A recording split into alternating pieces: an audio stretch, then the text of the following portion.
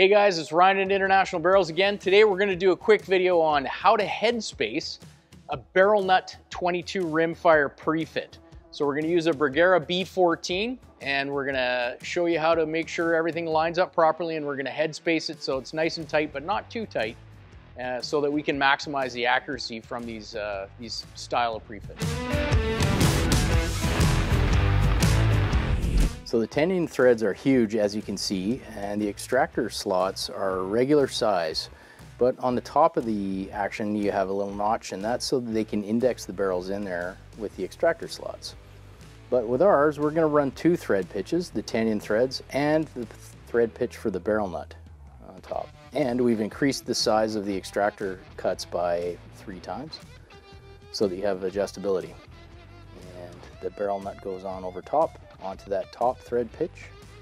There you go. So we're gonna also slide the wrench over top and something, a little something to protect it. We're gonna tighten it into the vise and we're gonna close the bolt on the action and we don't want to forget to add the recoil lug because that's kind of an integral part of the whole thing. So once we have that, we'll put a little bit of anti-seize or a little bit of grease on the threads and we're going to screw the action on until it stops. Once it stops, we're going to look at it from underneath and we're going to open the bolt and we're going to turn the action a few more times until we get uh, good closure and good seal between the bolt and the uh, chamber and that the extractor slots are lined up properly.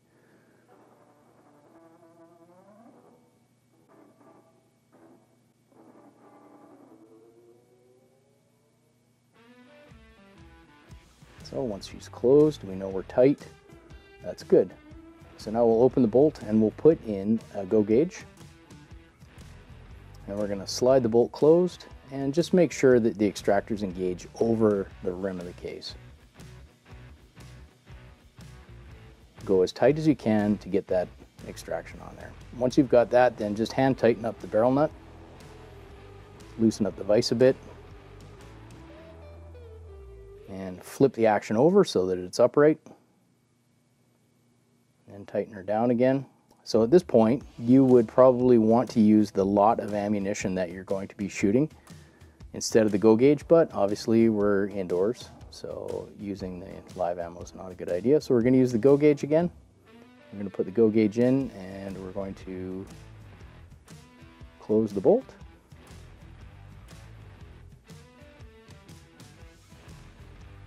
Once we have the bolt closed, we're just going to loosen up the barrel nut just a hair so that you got a little bit of room to play.